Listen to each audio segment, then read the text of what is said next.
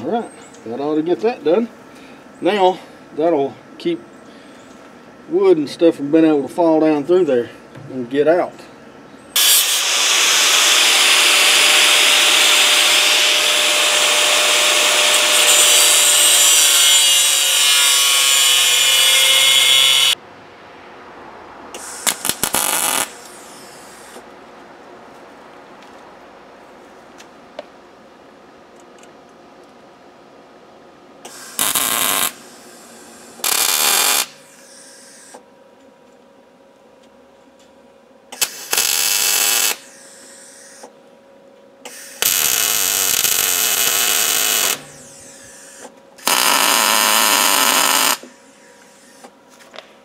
Alright, that ought to hold that just fine.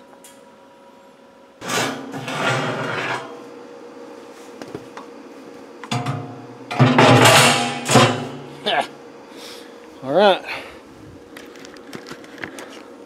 One more step completed. Fits in there really nice. Now my logs will lay on here and burn in here. Can get good airflow up through the bottom. Uh, through my my little grate right there. Yep, it's looking really good.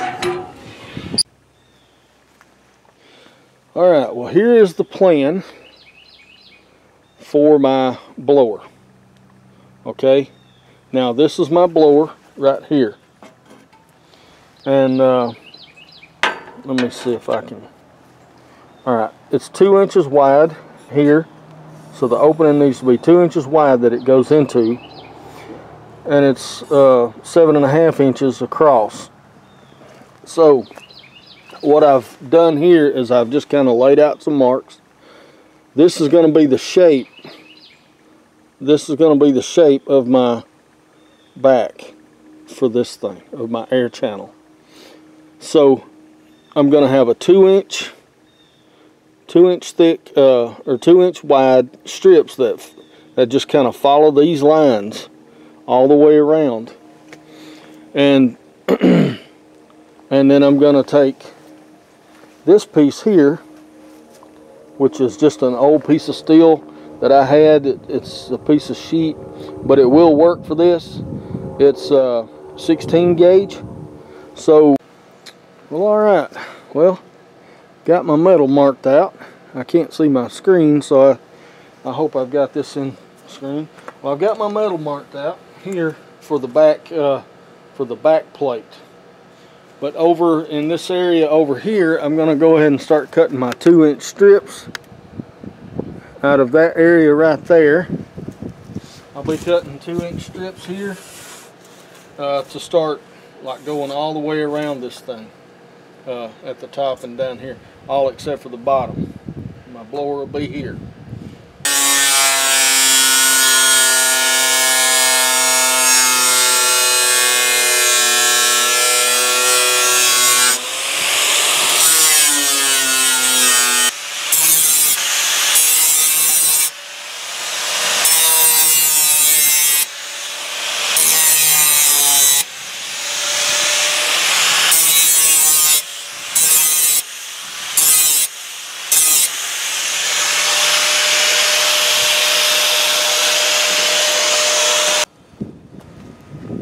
It's starting to get a little bit windy.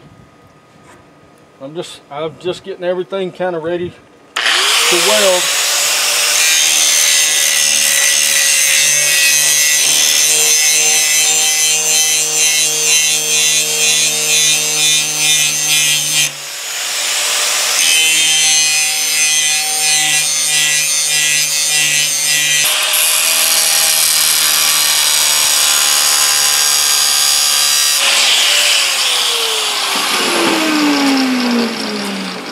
I'll fix that. I'll beat it to this side. Okay. Now let's see what we got here. Yeah, that's gonna work. Back out. Okay, I'm just getting ready to start trying to tack this in place and get this channel built. So uh, I'm just going to try to tack it right now and I'll I'll stitch weld it all together a little bit later. But let me make sure that I'm uh, wait for this wind to stop. Of course it of course the wind's going to kick up soon as I try to get started. So I'm going to have to wait a minute. stop.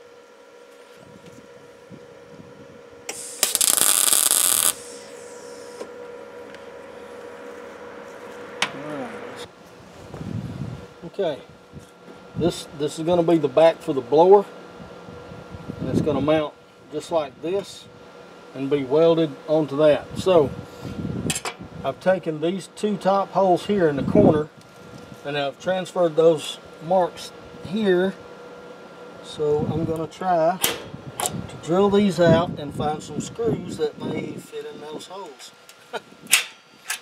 so, alright, well, I found these uh, little sheet metal screws in the shop there and with the proper persuasion they fit in there perfectly now.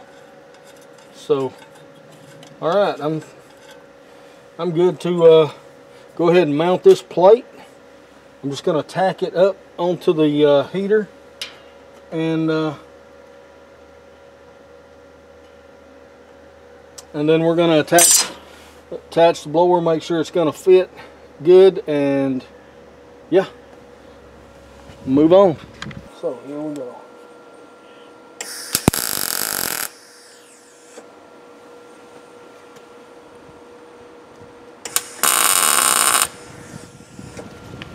Just line up. There you go.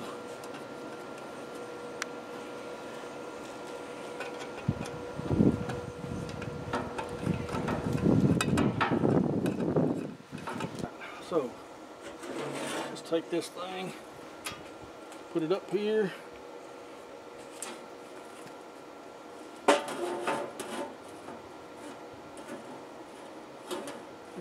right there on top of the blower, right where it needs to be. And then on these center marks which it is I'm going to put a tack. Okay that looks good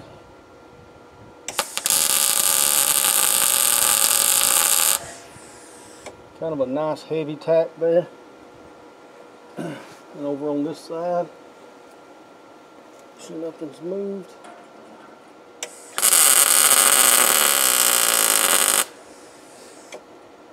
nice heavy tack. Okay. Now, okay, that's that's how it's gonna look. Uh, it's not actually the weight is not on the blower or anything like that, so I should be good. Corner.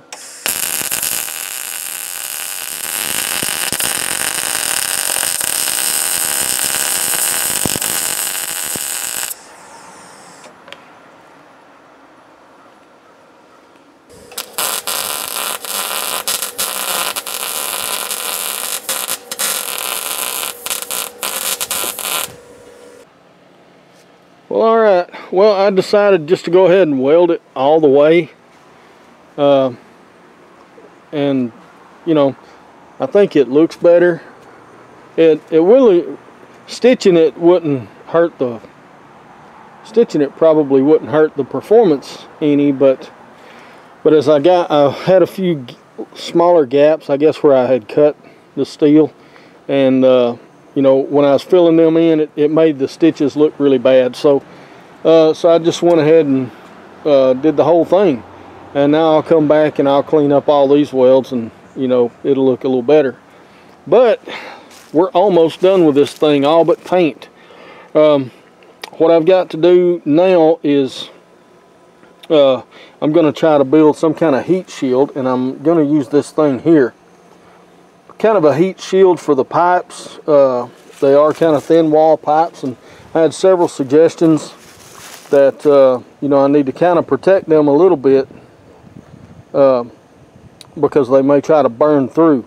So what I'm going to do is I'm going to add this this thin piece of metal here. It's another piece of 16 gauge, but uh, I'm just going to hang it up in up in the top uh, and just to kind of let it you know sort of protect those tubes a little bit but I'm fixing to get on on that right now think this was a very good suggestion by one of the viewers in my second video uh, but yeah these will go just like this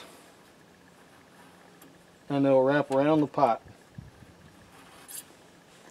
all right, so let me see if I can get that done. Uh, I won't be able to get the camera in here, I'm pretty sure, but uh, I'll come back once I get that hung up. All right, well, I've got my heat shield installed. Uh, and basically all it does, it's going to help keep the flames, you know, from directly impinging on the on the tubes. So uh, yeah this should work I mean it is it's 16 gauge uh, steel so it shouldn't it shouldn't be burning through but uh, I've got it floating about a half inch below the pipe so it's not actually touching the pipes either. Alright well show you what I got here. I went ahead and mounted the blower temporarily once again and I've got it temporarily wired so it's running. Now let's see here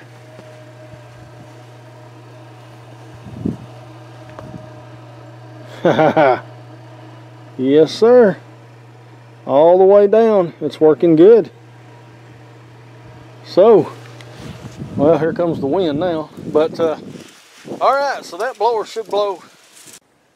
All right. Well, I'm gonna burn this thing. I'm gonna burn it right here where it sits. Uh, I'm, I'm about four feet from this wall right here, so that should be plenty good. I've, I've added a short piece of stovepipe just to give me a little bit better draft. So uh, I'm going to try to burn this thing off. I've done. I took the blower off so uh, uh, I'm not going to be using it right now. Once this thing's done burning, I'm going to clean everything up and uh, and get it all uh, ready to paint. All right, well, we're just going to try to start this fire. We got a bunch of pine in the bottom, so maybe it'll fire pretty good.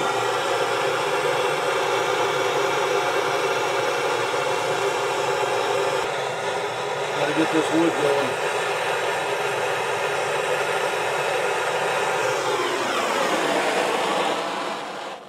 All right, well, let's let's see what happens.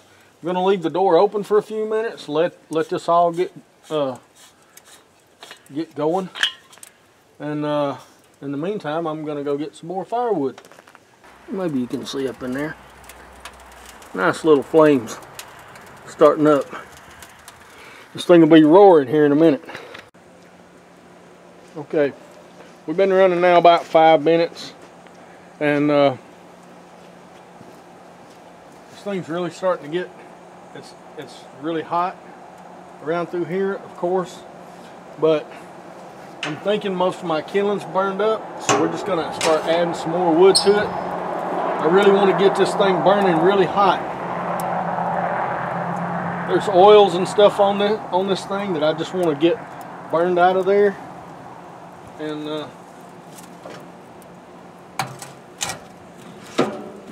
plus any zinc or anything that may be up on the top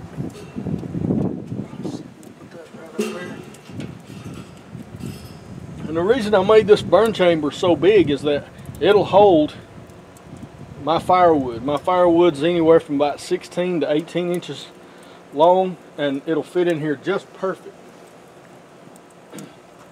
So I don't have to worry too much about all of that. And it'll hold a good bit of it too. Alright, let's let her get on up there. Start getting on up to the tent. Alright, let's see here. Uh, it's been going a few minutes now. Uh, door's getting tight see how she's doing. Oh yeah. I like the way that's going across the, the top right there. Oh man. That was a very good idea. I can't remember who it was that uh, told me to uh, put that heat shield in there. So I'm I'm get I'm close to okay that one's at 500 it's 480 or 464 so these tubes are getting plenty hot to uh, where's my laser? There it is. So there's over 400 degrees inside those tubes. Okay one thing I want to show too in my shop I've got about this much distance behind the heater. So I wanted I definitely wanted to find out how much heat is coming off the back.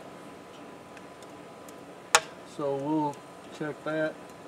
Right now it's 82 degrees and it's about 50 50 out here so about 30 degrees difference. Uh, in the ambient temperature and and what's uh, on this wall that's nowhere near enough to start a fire. So but the good thing is I do have fire extinguishers so. And I never burn out here. This one's at 74 I'll never burn out here unless I'm with it. So so all right. Yeah never leave your wood stove unattended in a wood in a wood shop well here we are. Uh, I've done my initial burn. I've got the oils and all of that uh, galvanizing stuff and all that uh, should be all be burned off now. But I did run into a problem uh, and I noticed it during the burn was my door. And my door warped a little bit when I opened it uh, when I opened it up I guess it cooled down real fast. And uh, anyway it got a, a, little bow in it. And uh, so I clamped it back shut and uh, and latched it and all that. And uh, when I came out here here this morning it was nice and flat again. So uh, I added I added this piece of angle in here to try to resist that. And I'm going to do another test burn also before uh, before I install this thing uh, in the shop just to make sure that because when that when that door warps like that you're not going to shut it back uh, you're not going to shut it back without clamps and things like that. So anyway that's where I'm at now. I added it's just a piece of angle. It's a, a one inch one inch angle. It's a eighth inch wall. So it should add a lot of strength to that door and I just stitched it in. So all right well I'm getting ready to clean it up now and get it painted. Oh yeah. And just just uh just showing you that you know it does close and all just like it did before. So uh, everything's good to go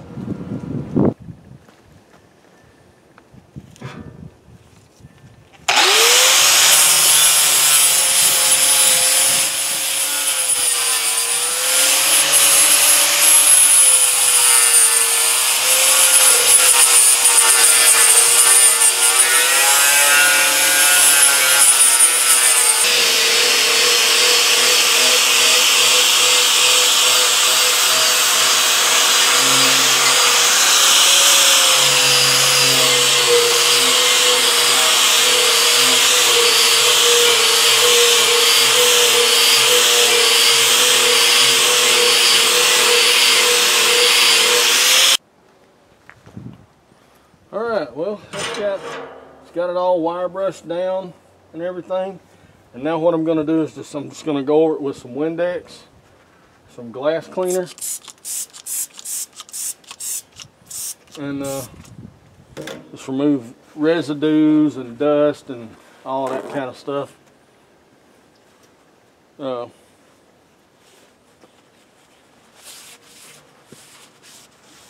I'm just going to wipe over the whole thing Getting it ready to paint.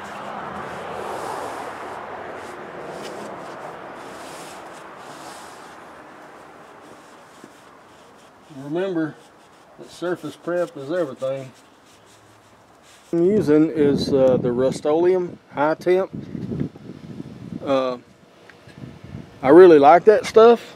Uh, first of all, it's 15 $20 a can and uh, you know so it makes it a lot cheaper to paint something like this but when I used it on my smoker that was uh, that was about a year ago it still looks fantastic. And I've had some some pretty good burns in it. And uh, and it, it's cooked a good bit of, of food.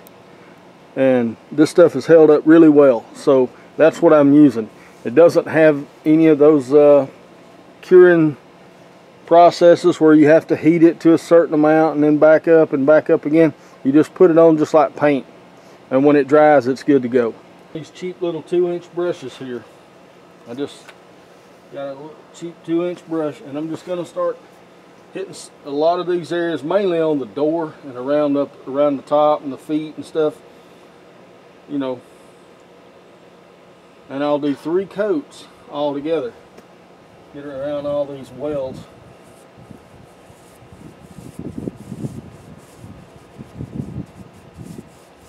around all them real good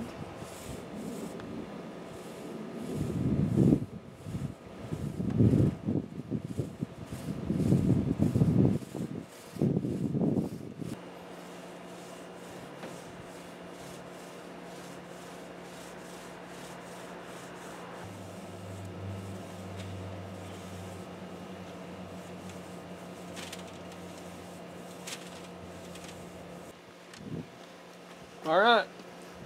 Well, that gets the first coat done. All the way around, even the bottom. So, uh, so yeah, we're good. We're looking pretty good. Uh, I've got two more coats to go, uh, and they say to put put each coat on within two hours of the last. So, so I'm just going to go ahead and start all over again and do it all over and I'll be back once I'm done. Well, there it is, folks. Uh, I hope you enjoyed this project, because I sure did. Uh, now I've got me a good heater for my shop. Uh, I've already done a test burn, and I know the blower works. So all that's really left is installing this thing. But now that the paint is on here, I've got three coats. I use the Rust-Oleum High Temp. It's uh, I've found it to be really good paint for, for doing this kind of stuff. Let the wind die down a little bit. But I want to thank everybody who's made suggestions on this build. Uh, this is the first time I built a heater or you know something like this and there was really good ideas uh, on you know things to do with this thing and I incorporated a lot of those and uh, I really appreciate everybody who was helping me out with that. So if you're trying to build something and somebody makes suggestions, somebody who knows what they're doing, you'd probably be wise to maybe listen to them. And uh, and I kind of try to follow that philosophy. But I really appreciate all the input that people have, have done with this build. But uh, with that said, I'm going to reburn this thing one more time uh, before I put it in just in case anything wants to off gas or something like that. I'm going to burn it one more time here then I'm going to install the blower back on it and my son and I are going to put it in the shop after I move everything else around. Uh, I know my table saw's got to move and the the cookie monster's got to come out for this one to go in. So, uh, but anyway, I hadn't thought of a good name for this yet. So if anybody's got a good name, let me know. All right. Well, I hope y'all enjoyed the project, and I'll see y'all down the road.